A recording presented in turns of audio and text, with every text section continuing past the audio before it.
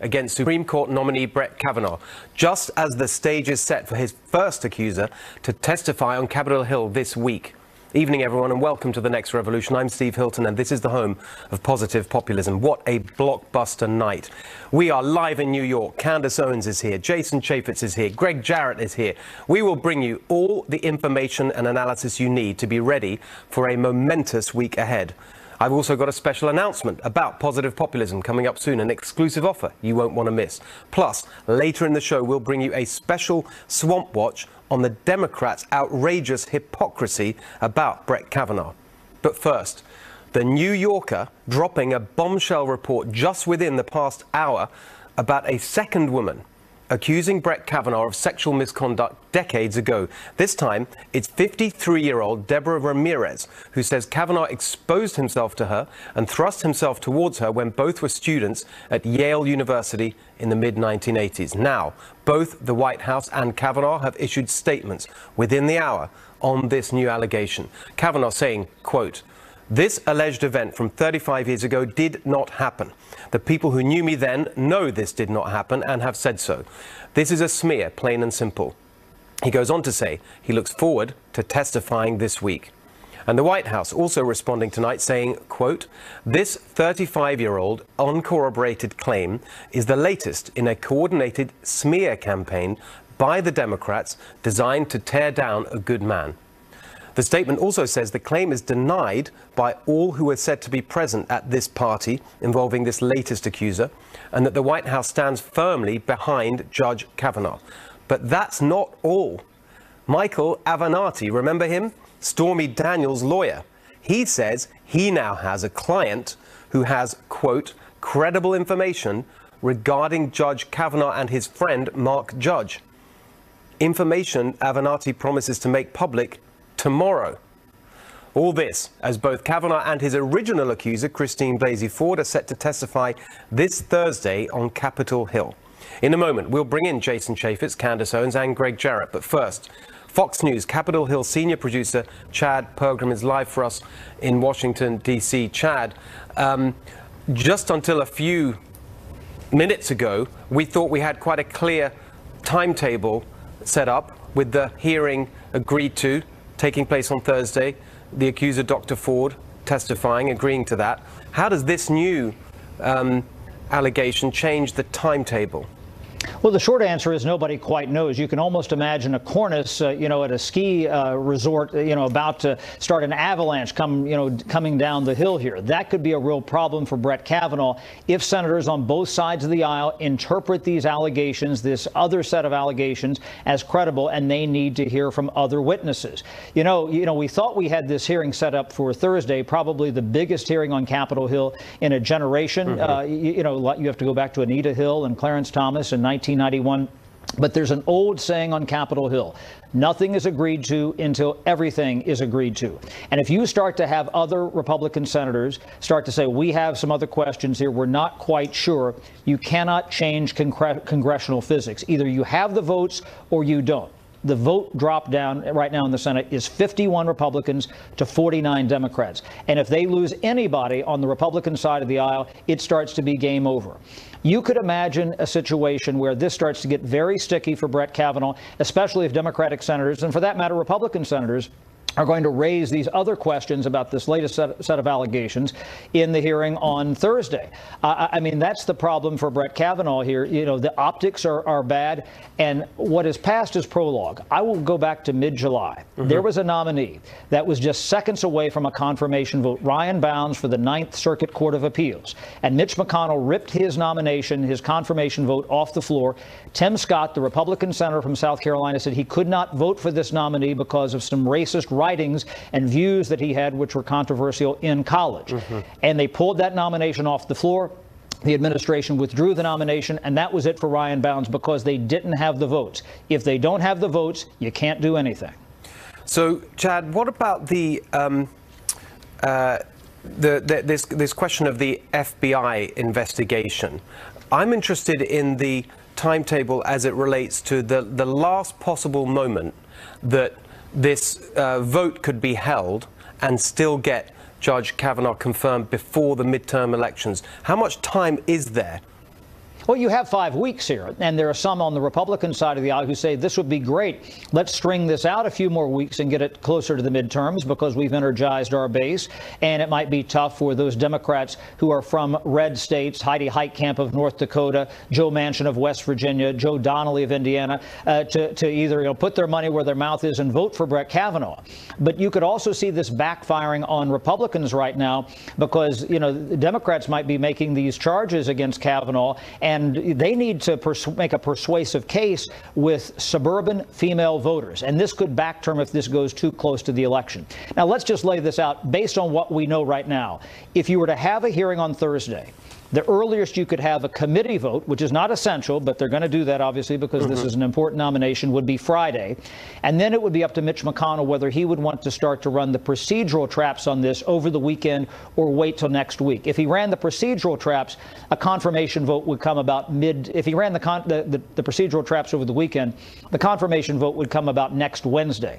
But they might want to, to take more time with this. Yeah. They might say, well, we had this confirmation hearing. We heard from uh, Christine Blasey Ford. We heard again from Kavanaugh. We have other questions. We just can't forge ahead with a committee vote on Friday. This could drag this out maybe a couple more weeks, and that's why I cite Ryan Bounds. Right. It looked like he was on the verge of confirmation, and then they withdrew it. But you know, as you say, there, you know, people want uh, this to be, uh, you know, done quickly, but there is still a number of weeks until the midterms. Thank you, Chad, so much for, uh, for all of that. Joining me now, Fox News contributor, former Utah Congressman Jason Chaffetz, author of The Deep State How an Army of Bureaucrats Protected Barack Obama and is Working to Destroy the Trump Agenda. Turning Point USA Communications Director Candace Owens, and Fox News legal analyst and author of the bestseller, The Russia Hoax The Illicit Scheme to Clear Hillary Clinton and Frame Donald Trump, Greg Jarrett. All right, everyone. What do we make of this? Nobody knows the truth of what happened until the accuser and the accused have an opportunity to speak publicly about it. Uh, you know, the legal landscape is littered with uh, false accusations. The Duke Lacrosse mm-hmm. case, uh, the UVA rape case. Uh, so we just don't know. I mean, she may well be telling the truth, the, but we, uh, who are you talking about? This, the the the I, Dr. Ford. Dr. Ford, and now we have a new accuser. Well, uh, under advice and consent under the Constitution, it's whatever the Senate wants it to be. But every salacious story that's coming out after the, the hearing was closed, by the way, I mean, he's right. been out there since July. And now you have this new salacious thing, which I think is terribly unfair without any evidence. You read through the article, and time and time again, it says, well, this could have maybe happened, maybe. Right. This is the Deborah Ramirez, the new one yeah. tonight. Candace? Look, I think this is absolutely infuri- infuriating. I am thinking that this is despicable behavior and it's a typical leftist tactic to stall. Um, they are constantly trying to stop this administration from having any wins. And this is the natural trail that they follow. First, they create mass hysteria by saying that if this person is elected or if this person is selected or confirmed, they're going to dial back human rights. We saw that with the whole abortion thing. Mm-hmm. Then, if that fails, they move to number two, which is racism. They somehow accuse the, uh, the candidate of being racist, which we saw with Cory Booker's absurd I am Spartacus moment, which in fact proved that he was not racist. And now we're at number three, which is the Me Too witch hunt, which has been going on for way too long. It makes due process go away, and they assume that because rape and sexual assault is such a sensitive topic, as it should be, mm-hmm. that they can just throw around baseless allegations. I do not believe either of these women. I believe this is just simply the left pulling out leftist tactics to stop this conservative. Well, this, I just want to I mean, look. You, you, you called it a witch hunt, and you said you, you don't believe them, nope. and uh, others do. And I think what what that shows actually is the interesting uh, fact here. It's something that behavioural scientists call confirmation bias. You know, depending on your own sure. prior yeah, point right. of view, you believe the evidence you want to believe. I just want to be fair about this, if if I can, and you please weigh in with your opinions. But there's a couple of red flags on either side, um, even before tonight's uh, news, that I just wanted to to sort of point to, one on each actually. I'm interested. It's a detail, but I think it could be important. One of the things we heard, let's just start with Dr. Ford's side. One of the things we heard a lot last week was let's learn from the Anita Hill process. Let's not have uh, unqualified senators ask questions. Let's get professionals in who really understand these sorts of things and have them ask the questions. And that wouldn't be the senators. But then when you get to the legal team, Dr. Ford herself, her lawyers, went for precisely the opposite. They're insisting that it's Republican senators. Now, that tells you something, doesn't it, about what this is all about? The FBI uh, perhaps will eventually get involved now that there are additional accusers that are coming out. But he's already gone through six FBI investigations. These things are very detailed. I mean, they talk to your kindergarten teacher and every neighbor you've ever had. They talk to all of your classmates and, you know, yeah. your friends and, and relatives and so forth. None of this has ever come up in, in six different FBI investigations of Brett Kavanaugh over 25 years. All of a sudden, um, these people are now speaking out with their accusations, which they should be heard respectfully, they should be considered. But I find it curious and suspicious that he was nominated on July 9th.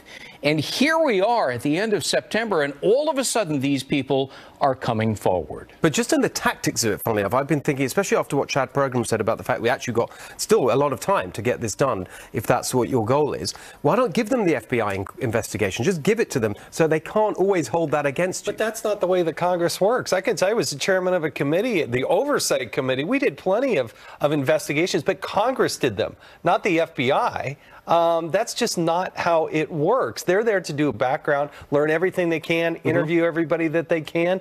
But the advice and the consent isn't from the executive branch. The advice and the consent is solely from the but United States the point Senate. That, that it did happen that the Bush admini- the, the, the first Bush administration did it in relation to Anita Hill. They did do an FBI check on that. And, and look, the White House could request the FBI do one more background check in light of these new accusations. I, Chad was brilliant in laying out the five-week timetable. There is time to do it. it and take away that argument. I don't the see Democrats. the rush, frankly. So, but Candace, let's go to the, the lawyers. It seems to me that they want the spectacle Absolutely. Of the, of as they describe it, the whatever it is, I know, ten white old men. And, and here's it, the thing. Rather than what the Republicans offered, which is a female attorney handling the, the questioning. But they rejected that. That tells you something about their motivation. Yes, and this is their motivations. From start to finish, this has been a giant spectacle, and we are seeing that. And I'm telling you, conservatives have to stand together and we have to vote in midterms because this is what is at stake. They are going to do this by any means necessary to stop this confirmation.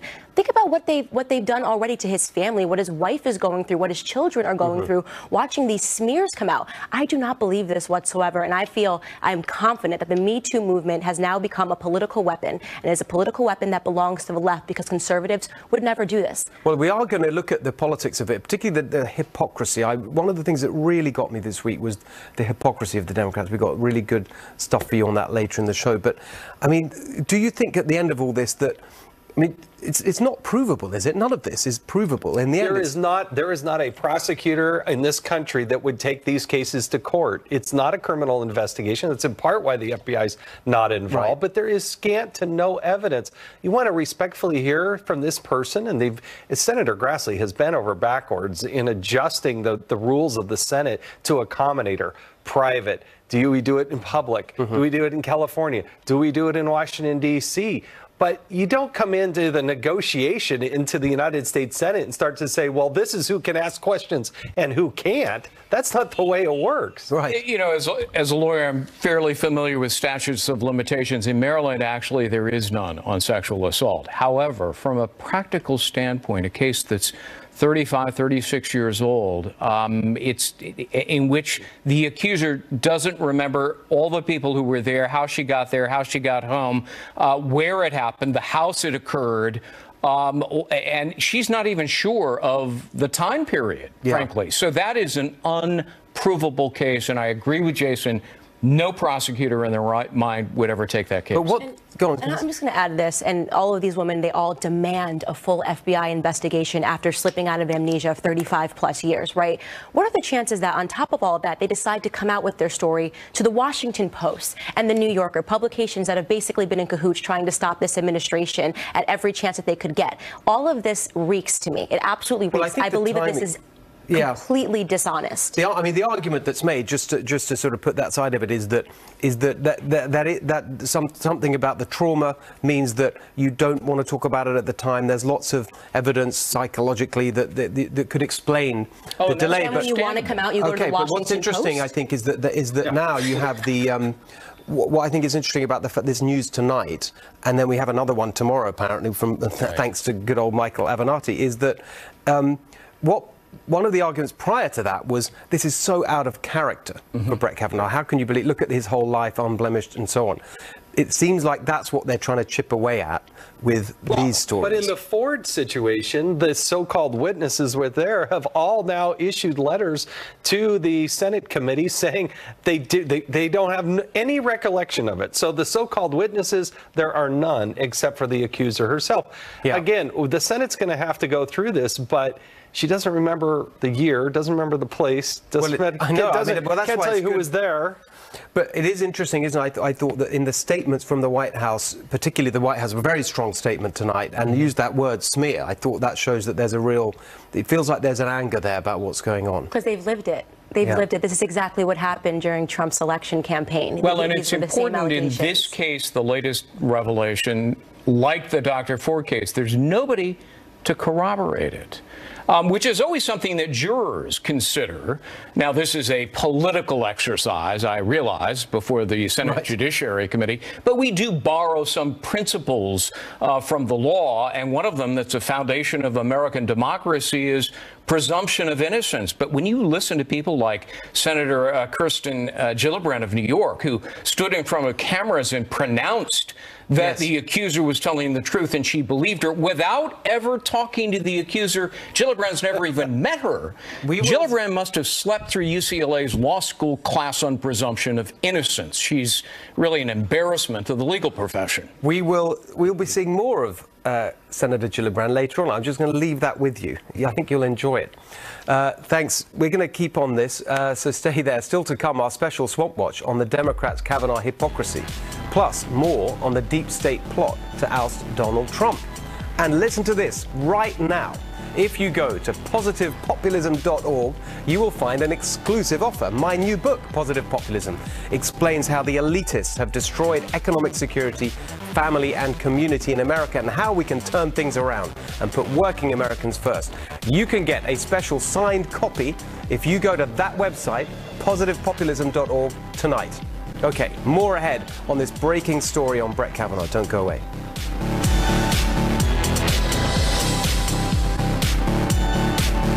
Welcome back, everyone. More on the breaking news we've been following tonight. A new allegation of sexual misconduct against Supreme Court nominee Brett Kavanaugh. We're back with Jason Chaffetz, Candace Owens, and Greg Jarrett.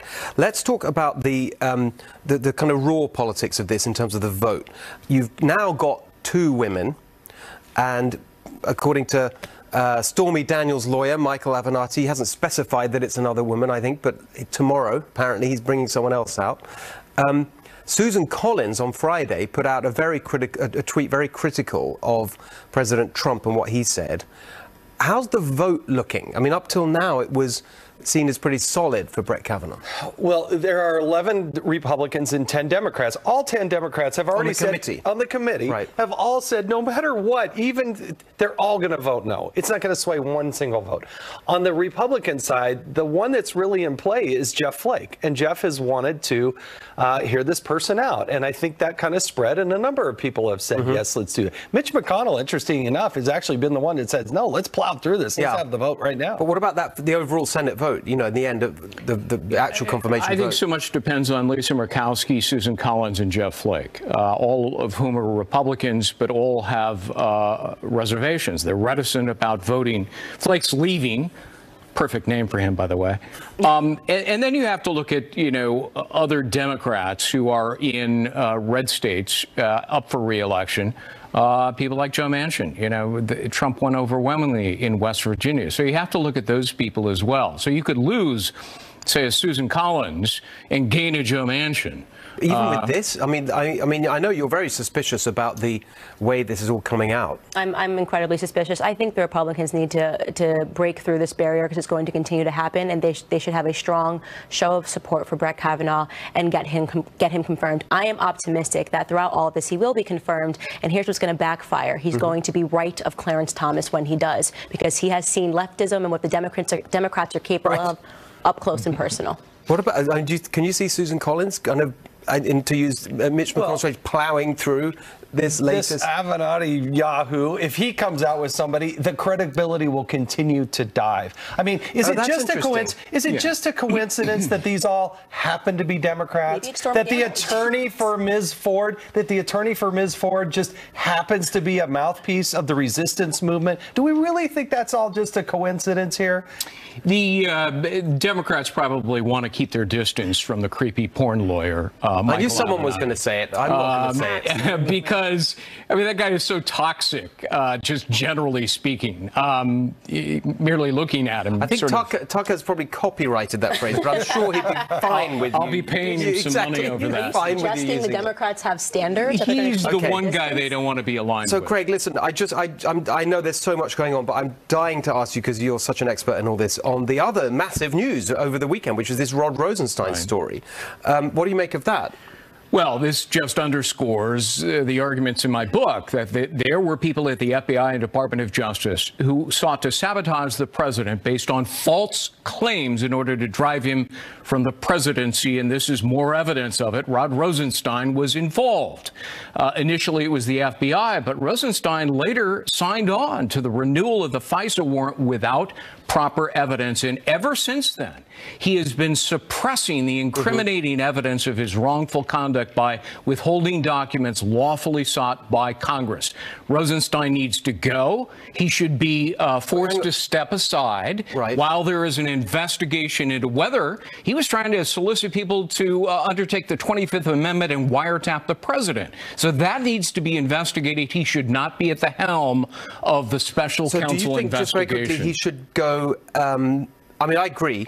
But should he go? Because I, I was interested. People saying, "Well, there's a, a split within Fox." So some, you know, Sean Hannity saying, "Calm down, don't." Saying to the president, "Don't fire him now. That's a setup." Take him off the Others case. saying he should go now. What, what do you think? The case has been tainted and corrupted, not just by Rod Rosenstein, but Andrew Weissmann struck. should, should Rosenstein be fired now or, or wait? Let's uh, let's have him step aside, replaced with somebody who can be fair and neutral and objective. And in the meantime, he should appear before Congress and the Inspector General under oath and answer questions. You need this meeting that happened a couple months into the Trump presidency. There are six or seven people involved in that meeting. We need to know everybody's name that's in there so that Congress can do a transcribed interview with each I've- each of those very people. good plan. And I totally agree that Rod Rosenstein should recuse himself. They're investigating what happened with the FISA abuse. He signed his name on the FISA abuse. So how can he oversee that investigation? this Rosenstein, you know, I'm going to wear a wire and tape the president. I mean, he says it's a joke. To me, I, mean, I read every word of it. It rings completely true. Yeah, it, it definitely is not a joke. But um, look, we're not surprised. We know this is going on. They are trying to uh, harm and assault this president from the inside out. Yes. And as, I don't, I personally don't think that he should take um, too strong of a stance here, only because look what's happening on the outside. People's eyes are, are being awoken. It's and they're starting- revealing yes, what it's we all revealing said. what we've all said that from the very beginning. So in many ways, it helps him more than it hurts him in the end. Excellent point, and it's a lovely setup to what we're going to be talking about next. What can we do to beat the deep state? Answers after the break. Don't go away.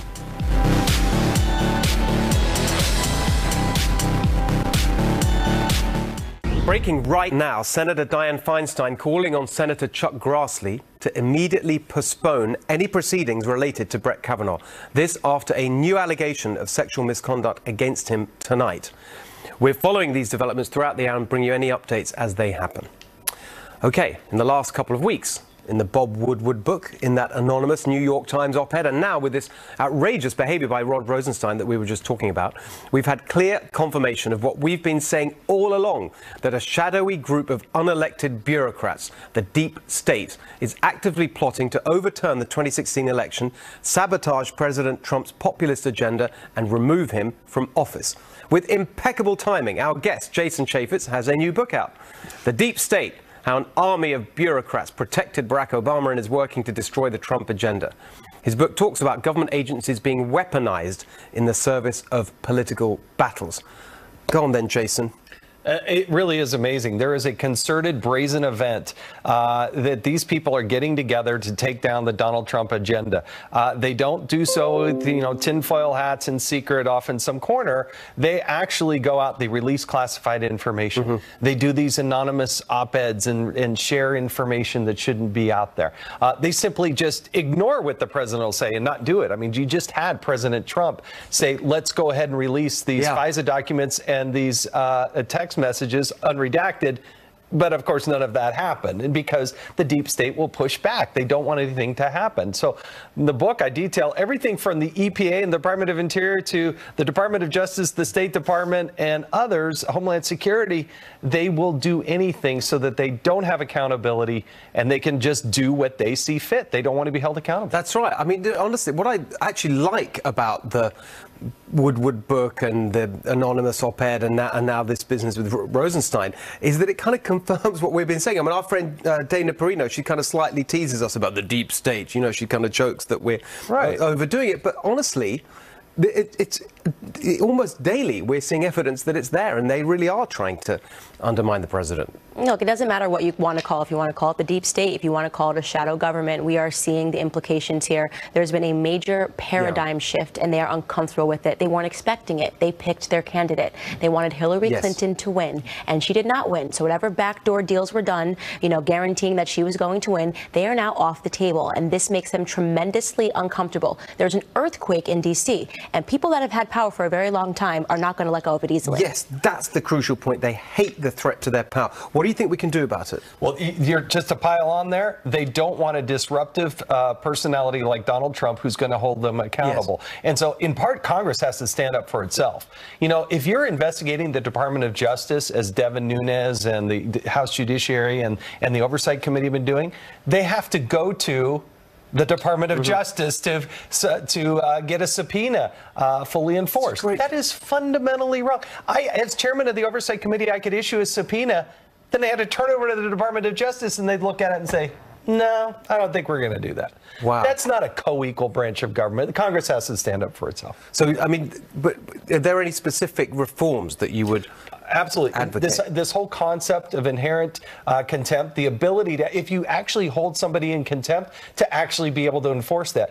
For the very first time in the history of the United States, we held Eric, we held Eric Holder in contempt of Congress, and a couple weeks later, he's back testifying yeah, yeah. on Capitol Hill as if nothing happened. You got to starve the beast. You got to be able to fire federal yes, employees. I agree with if that. If they don't pay their much. taxes, you got to be able to fire them. We don't Love collect it. about a billion dollars in taxes each year from federal employees. They get paid by the federal taxpayers. They don't pay their taxes and they keep working at the federal government. I think we should do some kind of double. I so agree with that, this deep state stuff. My plan was to unmask the deep state and then fire them, and then we know what we're doing. All right, out of time on that one. Up next, Swamp Watch takes on the left's hypocrisy over Judge Kavanaugh. Do not miss it.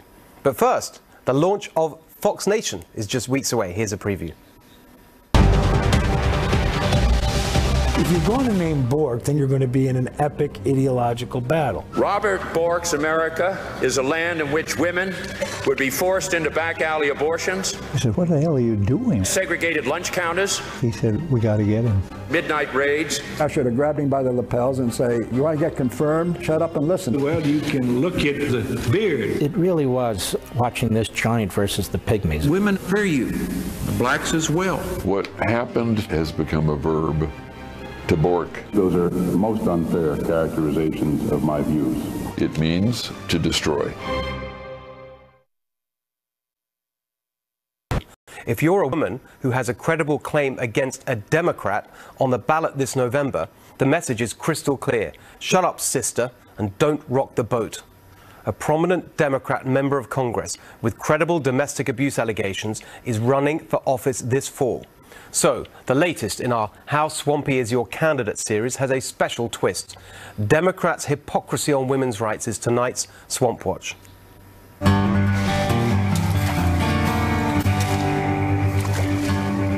Deputy chairman of the Democratic National Committee and Minnesota Congressman Keith Ellison is running to become Minnesota's Attorney General in November. Ellison's ex girlfriend, Karen Monahan, has accused him of violently assaulting her. This is a text message she sent him.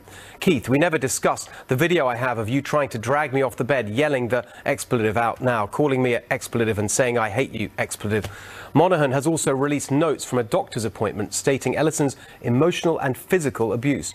The document mentions Ellison by name. Someone recently tweeted at Ellison's accuser, Karen Monahan, asking if Democrats believe her. She replied, No, they don't. I've been smeared, threatened, isolated from my own party. This isn't even the first such allegation against Ellison. In 2006, Amy Louise Alexander publicly accused Ellison of verbally abusing her while they were having an affair. She also said he grabbed and pushed her during an argument. Ellison denies both allegations, just like Brett Kavanaugh denies the allegations made against him. Of course, Democrat leaders because they have such a strong, principled commitment to women's rights, would insist that both cases are treated the same. Right? On the Brett Kavanaugh allegations, the most vocal Democrat this week was Senator Kirsten Gillibrand. I believe her because she's telling the truth. She is asking the FBI to investigate her claims. She is asking for that kind of review, that investigative work, that oversight, that accountability, because she's telling the truth. Judge Kavanaugh has not asked to have the FBI review these claims. Is that the is that the reaction of an innocent person? It is not. And here's what she said about the Keith Ellison case. Literally nothing. What about that great champion of women's rights, Kamala Harris? On Brett Kavanaugh's accuser, she says this. I believe that there sh- that the FBI, Nora, to your point, mm-hmm. is, is it should be compelled to do its job in terms of doing, completing their background investigation. And that's not being done. Be compelled. But it's okay. She's really fired up about Keith Ellison, too. Quote, I know that the DNC is investigating it, so we'll see and let that run its course. The DNC investigating it. Imagine if Chuck Grassley said that about the Brett Kavanaugh case. Don't worry, we've got the RNC looking into it. But if we can't count on Kamala Harris for consistency, then surely good old Bernie Sanders is a reliable Me Too advocate. Yes, indeed. On Kavanaugh, he tweeted, The allegation from Professor Christine Blasey Ford is a serious one that deserves a full investigation. Strong words, Senator. And I'm sure you feel equally strongly about alleged abuse of any women anywhere. So what's this? When asked about the Ellison allegations, Senator Sanders told reporters, quote, Nope, nothing. And you'll excuse me, I've got to get going. I'm sure you do, just in case you get a lecture from your colleague Mazie Hirono. Guess who's perpetuating all of these kinds of actions? It's the men in this country. And I just want to say to the men in this country, just shut up and step up. Do the right thing. That's right, Mazie. These wretched men who don't respect women with abuse allegations need to shut up and step up. Men like, well, Democrat Senator Richard Blumenthal. He had lots to say this week about Brett Kavanaugh. I believe Dr. Ford. I believe the survivor here. There's every reason to believe her. This nomination will not only cast a shadow over Judge Kavanaugh if he were ever to be confirmed, it will also stain the United States Supreme Court irreparably. But on Democrat Keith Ellison's alleged abuse, silence. Come on, Senator, step up. And that goes for you too, Tom Perez, chair of the DNC. Here's what Perez said about Brett Kavanaugh. This serious allegation must be investigated thoroughly. The American people deserve answers, not a vote that's rammed through by Republicans. I wonder what he means by a thorough investigation. Oh, wait, he told us when he was talking about the serious allegations against Keith Ellison. I mean, the matter is under review, and and uh, the Minnesota Democratic Party is conducting a very thorough investigation. Phew, that well known and widely trusted professional arbiter of sexual abuse allegations, the Minnesota Democratic Party, is going to take care of it. Wait, I've had an idea. On Brett Kavanaugh, let's get the Maryland Republican Party to investigate. I'm sure Tom Perez will be fine with that. What a bunch of hacks and hypocrites these Democrats are. I took that message deep into hostile territory on Friday when I went on Bill Maher's show. She was making an argument that basically he is guilty and he can, until he can prove himself innocent. And that is not something I think that we should accept. No. And furthermore, there's a hypocrisy to it. I wouldn't mind that so much if the same standard was being applied to others in her party who have had serious no. allegations made against them, like Keith Ellison. But that's not happening. What about Eric? Well, you can imagine how that went down. Isn't this country divided enough without Democrats politicizing one of the most long-standing and abhorrent issues in our society, the abuse of women by men, an issue that we're now, finally, thankfully, giving the priority it deserves. How can we unite against this vile behavior when it's me too if you accuse a Republican, but not you if you accuse a Democrat? Republican senators have shown respect to Dr. Ford. Can't even one, just one, prominent Democrat say, I believe her, when the alleged abuser is a leader of their own party? Kirsten Gillibrand, Kamala Harris, Mazie Hirono. You made a great show of standing up for women last week.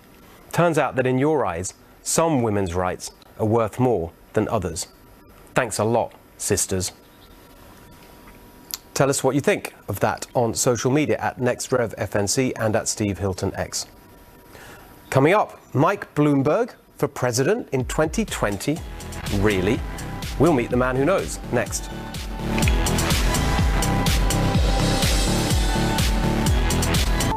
If you're a woman who has a credible claim against a Democrat on the ballot this November, the message is crystal clear. Shut up, sister, and don't rock the boat. A prominent Democrat member of Congress with credible domestic abuse allegations is running for office this fall. So, the latest in our How Swampy is Your Candidate series has a special twist. Democrats' hypocrisy on women's rights is tonight's Swamp Watch.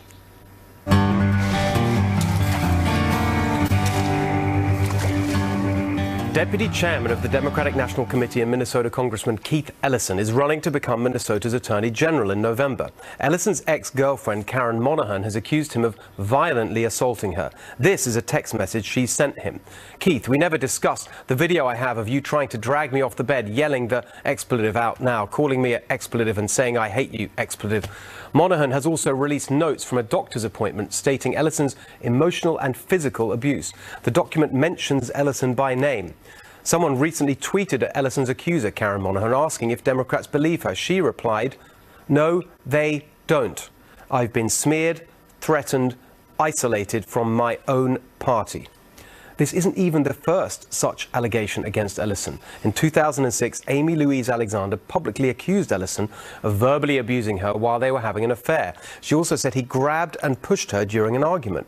Ellison denies both allegations, just like Brett Kavanaugh denies the allegations made against him. Of course, Democrat leaders because they have such a strong, principled commitment to women's rights, would insist that both cases are treated the same. Right? On the Brett Kavanaugh allegations, the most vocal Democrat this week was Senator Kirsten Gillibrand. I believe her because she's telling the truth. She is asking the FBI to investigate her claims. She is asking for that kind of review, that investigative work, that oversight, that accountability, because she's telling the truth. Judge Kavanaugh has not asked to have the FBI review these claims. Is that the is that the reaction of an innocent person? It is not. And here's what she said about the Keith Ellison case. Literally nothing. What about that great champion of women's rights, Kamala Harris? On Brett Kavanaugh's accuser, she says this. I believe that there that the FBI, Nora, to your point, mm-hmm. is, is it should be compelled to do its job in terms of doing the, completing their background investigation. And that's not being done. Be compelled. But it's okay. She's really fired up about Keith Ellison, too. Quote, I know that the DNC is investigating it, so we'll see and let that run its course. The DNC investigating it. Imagine if Chuck Grassley said that about the Brett Kavanaugh case. Don't worry, we've got the RNC looking into it. But if we can't count on Kamala Harris for consistency, then surely good old Bernie Sanders is a reliable Me Too advocate. Yes, indeed. On Kavanaugh, he tweeted, The allegation from Professor Christine Blasey Ford is a serious one that deserves a full investigation. Strong words, Senator. And I'm sure you feel equally strongly about alleged abuse of any women anywhere. So what's this? When asked about the Ellison allegations, Senator Sanders told reporters, quote, Nope, nothing. And you'll excuse me, I've got to get going. I'm sure you do. Just in case you get a lecture from your colleague, Mazie Hirono. Guess who's perpetuating all of these kinds of ac- actions? It's the men in this country. And I just want to say to the men in this country just shut up and step up. Do the right thing. That's right, Mazie. These wretched men who don't respect women with abuse allegations need to shut up and step up. Men like, well, Democrat Senator Richard Blumenthal. He had lots to say this week about Brett Kavanaugh. I believe Dr. Ford. I believe the survivor here. There's every reason to believe her. This nomination will not only cast a shadow over Judge Kavanaugh if he were ever to be confirmed, it will also stain the United States Supreme Court irreparably. But on Democrat Keith Ellison's alleged abuse, silence. Come on, Senator, step up. And that goes for you too, Tom Perez, chair of the DNC. Here's what Perez said about Brett Kavanaugh. This serious allegation must be investigated thoroughly. The American people deserve answers, not a vote that's rammed through by Republicans. I wonder what he means by a thorough investigation. Oh, wait, he told us when he was talking about the serious allegations against Keith Ellison.